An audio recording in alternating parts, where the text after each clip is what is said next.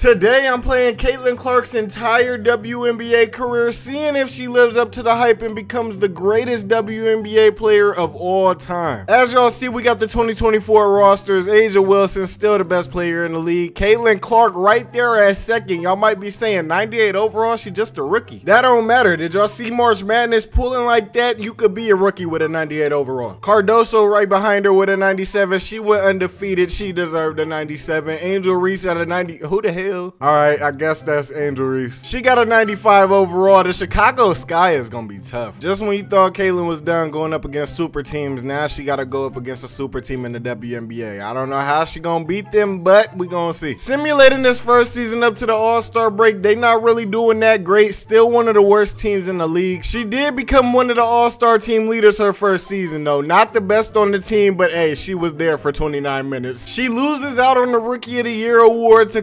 Cardoso averaging 17, 9, and 5. Once again, losing to Kamilla in the end. This is tragic. She did make the All WNBA first team, though, averaging 14 points, 9 rebounds, 6 assists, 1 steal, and 0.5 blocks. 2 turnovers is crazy. You got to get that together. She shot 47% from the field and 40% from 3. I wonder how many did she knock down this season. She shot 247 and knocked down 101. So the shooting is translating very well. It's just the turnovers. Her playmaking got to get better. And and the points per game, I'm sure that's gonna go up. How you a 99 overall though, averaging 14 points per game? She did make the all defensive first team as well, right alongside Angel Reese. Let's see what this fake Angel Reese. Yo, she averaged a double double and didn't win Rookie of the Year. Sadly, Indiana did not make the playoffs though, so let's just see who ends up winning. The Las Vegas Aces do it again. A'ja Wilson winning Finals MVP, averaging a double double, 24 and 11, 19 for 20 from the free throw line is crazy. Nobody else even got close to that. That brings us to year two, the Indiana Fever have drafted another 99 overall, Shea Ingram. This should help them win way more games than they did last season because that was just embarrassing. We finna find out though, it's looking amazing off rip. This time, Caitlin doesn't lead the All-Star team, but she does make her second All-Star game. She ended up having 15 points and 10 assists, actually outperforming Kamilla, and that was the team captain as well as A'ja. Hold on, she came out here on a mission. They finished second in the league. Caitlin once again winning no awards, but she does make the all WNBA first team again, averaging 15 points, 6 rebounds, 7 assists, 1 steal, and 0.3 blocks. Her shooting efficiency went down a bit. That's not good. We don't got time for shooting decreases. She doesn't make the all defensive first team this time, nor the all defensive second team. So it's looking like she kind of decreasing. I ain't gonna lie to you, but they the first seed going up against Phoenix. They absolutely dominated Brittney Griner and the Mercury, so I figured I might as well just hop in here and get a couple shots in. You know what I'm saying? That won't hurt nobody. Goddamn, back up, girl. Let me lock up though. Hold on. Blamps, blamps. Yes, sir. Blamps on all that. Van Lith, you get no buckets. Yes, sir. I'm leaving you wide open. Cloud, no but. Okay. Guard down low. Great jump. Great jump. Grab that board. Oh, y'all gotta grab that. Good deedo. Yes, sir. We out of there. We out of there. We out of there. We. Caitlin, pull up. Dang. Back on this side, back on this side. Oh, no. It's all good. They still down by 30. Oh, over here. No way. What is she? Wide receiver? Lock up on Hailey. Yes, sir. Great defense being played. They trying to get Brittney Griner to carry him. I'm on all that clout. Why am I just getting threes drained on my face? I'm getting at least one more three. You better step up. We end up winning game one by 30. Game two, once again, a blowout. The Fever eliminate the Mercury 78 to 64, sweeping them. They now head to Dallas to face a familiar foe, Flau'jae Johnson in the wings. Game one, Indiana applied their pressure. They up 91 to 82 with 45 seconds on the clock. Step back, Mitchell knocking it down. Johnson with the ball in the corner. They setting her a screen. She gonna run around there. Uh, step back 3 that's in there. Gotta knock it down. 85-93, down by 8. Is still a chance. Not that big of a chance, though. Mitchell dribbling the down court. Pass up to Caitlin. Do they get one last bucket? Yes, they do. Mitchell knocked down, and that's the dagger. Caitlin to Indiana takes game one. I should be saying Kelsey in Indiana. At 34 points, she's carrying. Caitlin with 18 points, 12 rebounds. Almost had a triple-double. 8 assists, 3 steals. She shot 4 for 14 from the field, 3 for 12 from 3. Now, first, it seemed like she was going to be going crazy in the league. Now, she is just not herself, but her teammates is keeping her in it. Game two was absolute destruction, 72 to 117. The Indiana Fever might just be the best scoring team in WNBA history. I don't think that we are going to see anything else like this for quite a while. Everybody on the Fever did their thing. Caitlin, she had 12 points, four rebounds, and nine assists, along with three steals. Kelsey Mitchell, on the other hand, you let us down this game. But hey, come back stronger in the next game. Game three, the story would be no different. 86-82, Indiana up. They is not letting up on them at all. I doubt Ingram is missing any of these. She knocked that first one down with so much confidence. The second one had no choice but to go in. Dallas passing the ball in with seven seconds on the clock. Flau'jae do not miss. I haven't seen her miss yet. They only down by three. Wait a minute. I thought this game was over. Hold on. 85-88. They fouling immediately. Ingram don't miss free throws though. That's the thing. I guess she knocked down both of these and they try to get the lead down to two and they maybe, you know, make a game winner. So I don't know how they gonna do this, but they gonna try. You already know they gotta be going right back to Flau'jae. She knocked the thing down. She got the hot hand. Ain't no way they don't go to her. They don't go to her. Oh my gosh. Oh my. Yo, these shots that are going in make no sense. All right, down by two, one second on the clock. Can they foul fast enough? No, no, no. Indiana wins game three. Moving on to the WNBA finals. Can Caitlin Clark win a championship in just her second year? Game one has been a very back and forth battle so far. Here we go. Gray with the ball in. Oh, it looked like she's trying to drive to the basket. A'ja with the wide open cut, but misses the layup. They started clamping. Indiana going back down. They got the lead. They could expand on it. Here we go. This is their chance. Ingram running around. They set the screen for Smith. Smith, what are you doing? What's the game plan? Drives. Layup makes it. A'ja, what do you got from? You know that the MVP is trying to hit him with the meanest moves. Ugh, big body. Misses the layup once again. No, Caitlin running the fast breakdown court. I thought she was from the pool. That was going to be crazy. Six seconds on the clock. Five, four, three. Oh, no. Mitchell just got to force it. Bucket misses. What is the game plan for the Las Vegas Aces? They go right back to their best player, A'ja Wilson, the MVP, dominated down low. Oh my goodness. 40 seconds on the clock. Smith with the basketball. They running another pick and roll. Here we go. Ooh, ran to perfection. Ooh, Gotta make that. Okay, I was about to say.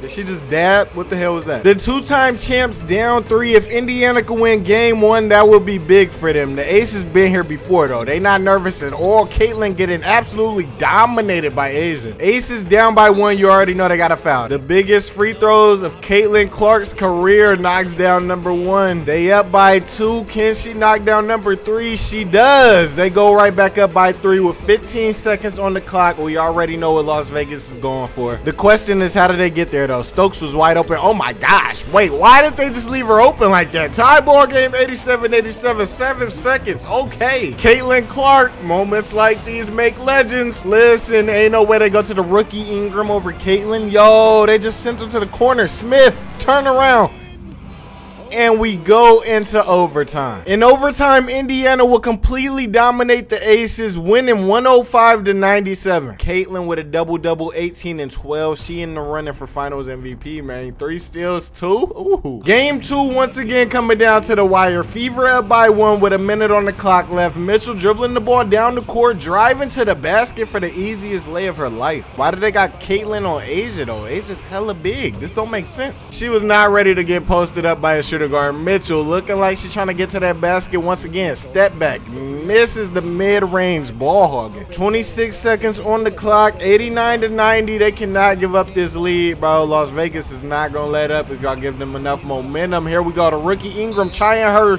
luck and it works out. You know Las Vegas is going to go straight for the fouls, but we also know Ingram don't miss. She makes both free throws. Las Vegas is going to have to figure out a game plan quick. Did they go into overtime for a second game in a row or did Indiana get defense? Good defense. Good goddamn defense. Indiana wins game two, going up 2-0 in the series. Clark is on her way to her first WNBA championship in year two. She had 19 points, 5 rebounds, 7 assists. Las Vegas is just getting just straight up outplayed. 99-97, they're once again in a position where they gotta climb up a mountain. A'ja Wilson cannot just keep doing this every game. Three seconds in the key, get out of there. I wonder if this forces them to foul though. They only down by two. Was the foul really necessary? They high key just screwed themselves with that one. I ain't gonna lie to you. Now they down by four with 24 on the clock. That's not gonna work. If I'm the coach, A'ja, run to that three in the corner, knock it down, and then we gonna foul, then knock down another three. God damn it. Y'all doing all these passes. What is this? Three man weave? What are we doing? A'ja, A'ja, A'ja, all this pump faking, bro. Just go up. Thank you. That's not gonna work out though, because y'all just gonna foul again and go right back down by four. Of course, Caitlin knocking down both of these. Y'all not getting her to miss. Seven, six, five foot, bro. They just so. Oh my goodness.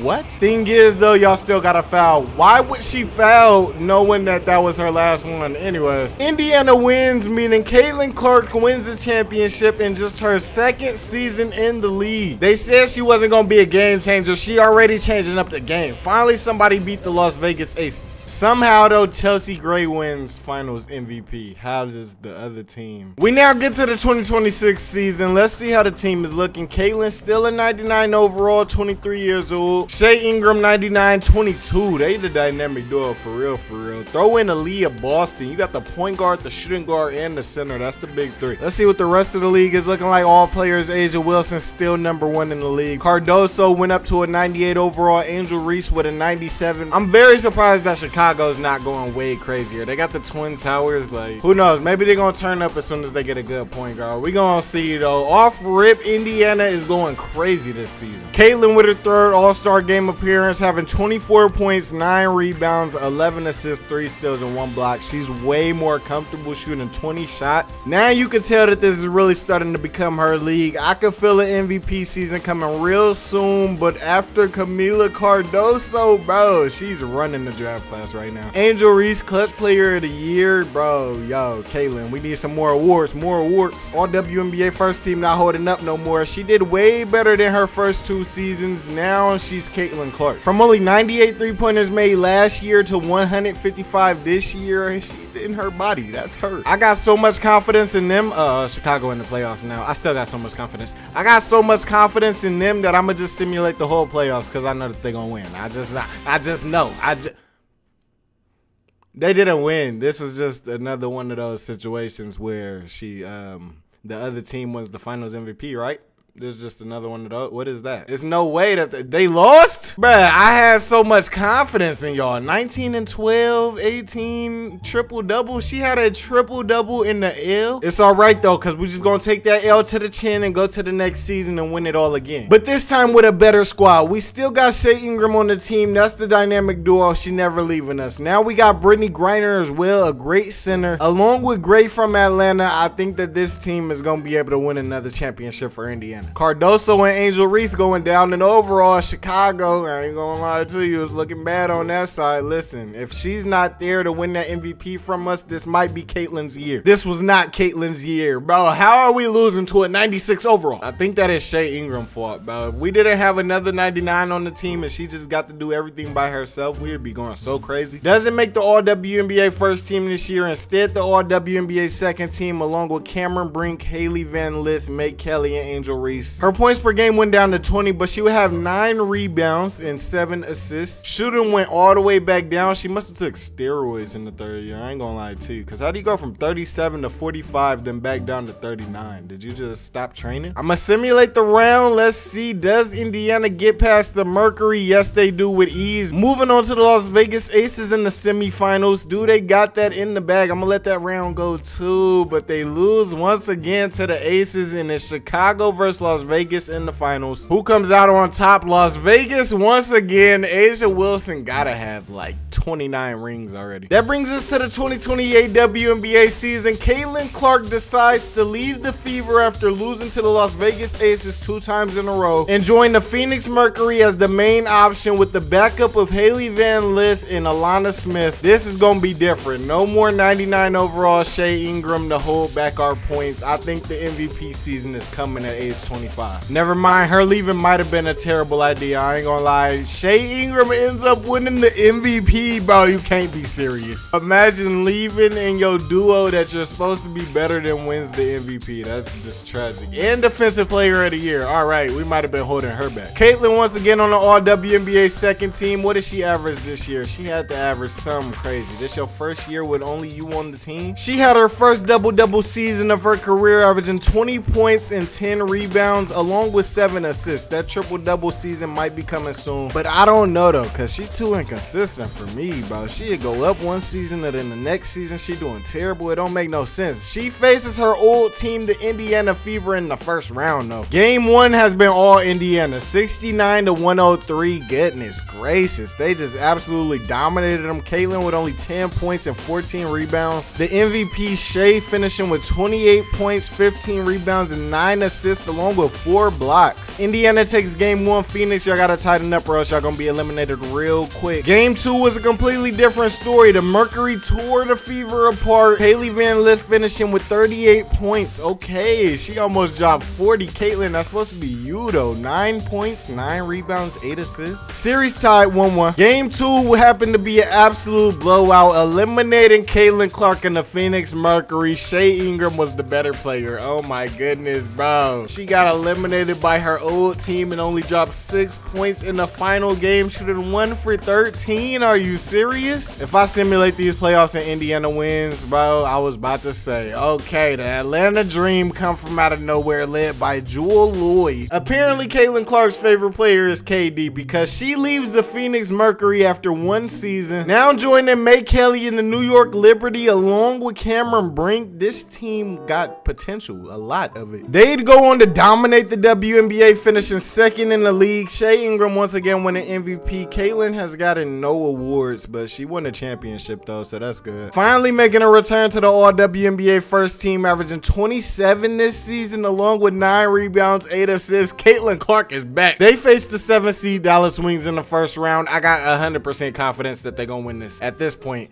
at, at y'all get eliminated in the first round, 25, 11, and 13. Hey, she's showing up now though. Triple double is crazy. Another first round elimination for Caitlin Clark. Can we make it to the finals ever again? She once again leaves her team after losing in the first round. What's up with all these one-year contracts? WNBA, y'all cool with this? And actually ends up not even playing on the team this season. She just stayed in free agency the whole time. I don't know how. Angel Reese did the same exact thing or whoever that is. I don't know if 2K got them getting pregnant and then they just missed a whole season, but yeah, they didn't hop into any teams this season for some reason. So we're just gonna simulate this, get it over with. Clark making her return to the WNBA in the 2031 season, joining the Los Angeles Sparks, teaming up with her former college rival Angel Reese. Here we go. So they both enter free agency, missed the whole season so that they could join the same team. I see what they did. I see what they did. You already know I had to get a game in with these two on the same team. I really just want to play for three minutes. That's all I need. Why are we leaving them wide open though? Like, come on. All these afros on the court. We're going against the Jackson 5? What is this? Pass over there to Caitlin. Uh, girl, you better step up. Oh, oh, oh. O'Connor with the board though. Hold on.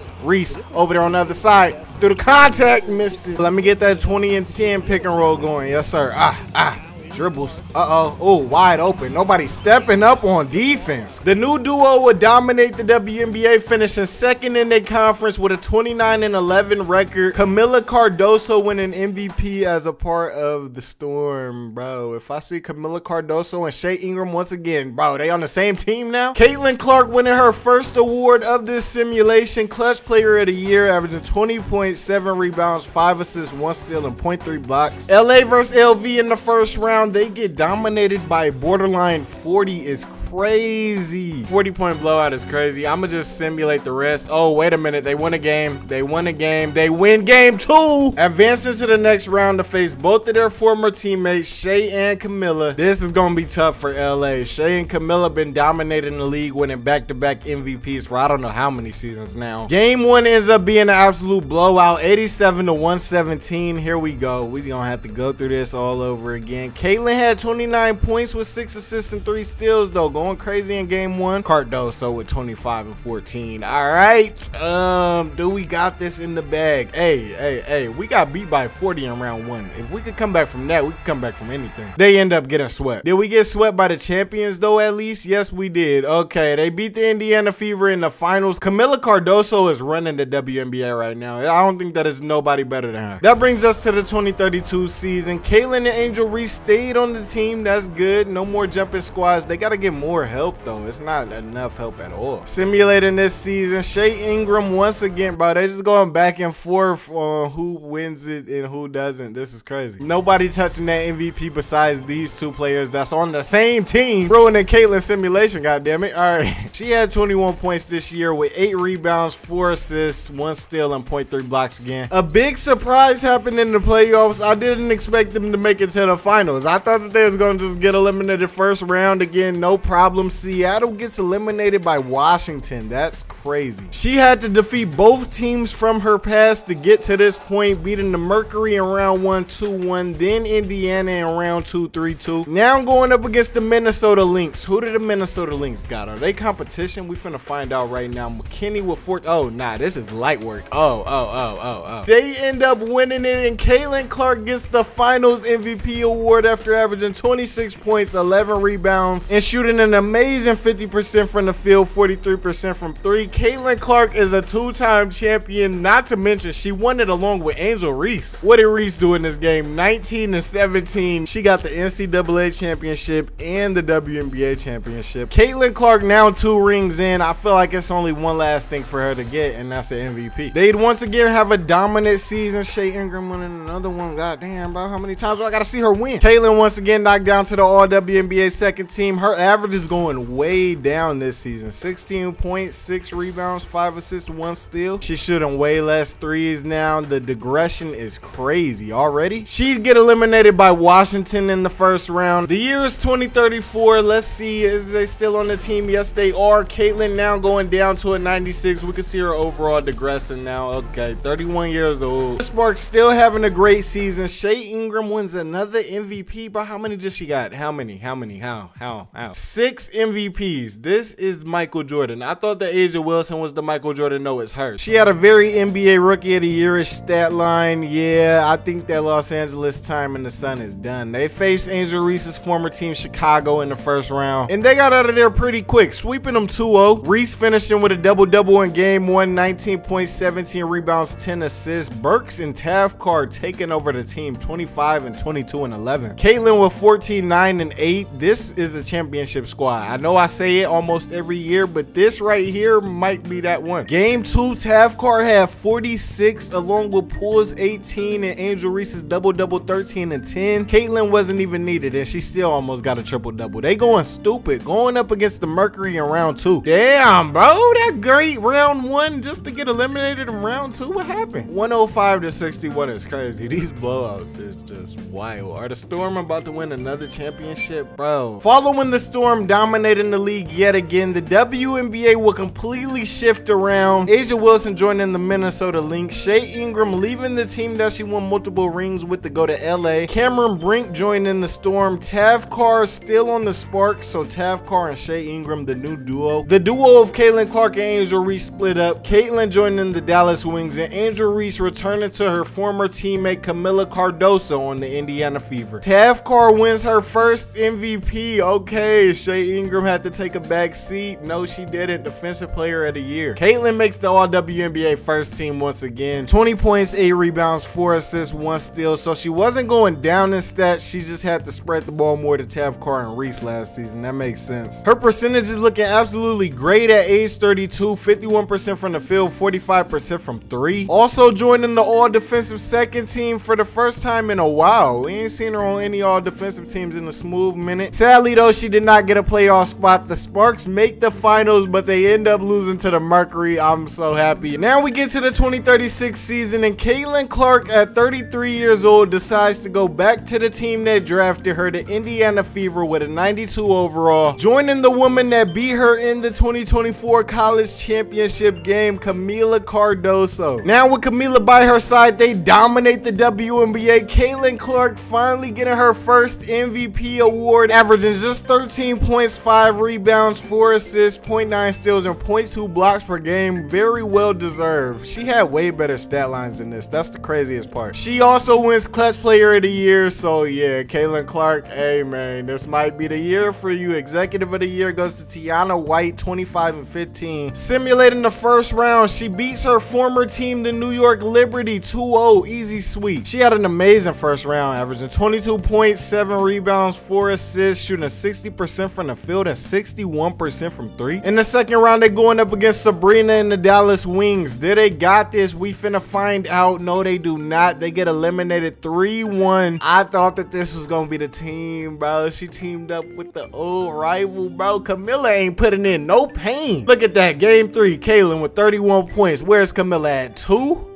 Two. We just gonna simulate the rest of this. The Mercury win another championship. The Mercury just two-peated back to back. In the 2037 season, Clark would decide that she didn't want to finish her career with the team that drafted her, instead joining the Atlanta Dream. I'm realizing now that she's been on every single team. 88 overall, 34 years old. I don't expect much from them this season. I ain't gonna lie to you. Barely makes the All WNBA second team with only 11 points per game, four rebounds, two assists. She's gonna be out out of here very soon. The LA Sparks win the WNBA Finals led by Tav Clark. Caitlin Clark retires after 15 years. She had a very great career. Looking at these awards, she was a two-time WNBA champion, one-time MVP, Finals MVP, 13-time All-Star, eight-time first-team All-WNBA player, five-time second-team All-WNBA player, and if they had the All-WNBA defensive team, she'd be a two-time of that. A very great career from her. Let me check out their WNBA records. She beat the most three-pointers made in the game record twice, along with the most free throws made in the game record with 24. Second in the most three-pointers made in the playoff game race. Finished seventh for the most points made in the season in 2029. She holds the record for most three-pointers made in the season with 187, along with tying the record for most assists in the season with 374. Also holding the record for most three-pointers made in a career with 1,678. And that's her legacy right there. The best shooter in W WNBA history. Hey man, if you enjoyed this video, make sure leave a like, subscribe if you're new. Comment down below, what do y'all think Caitlin gonna do in the WNBA? Do y'all think that she gonna take it over or will she be stopped by the much older women? Let me know down below. Till next time, I'm out this thing. No, peace.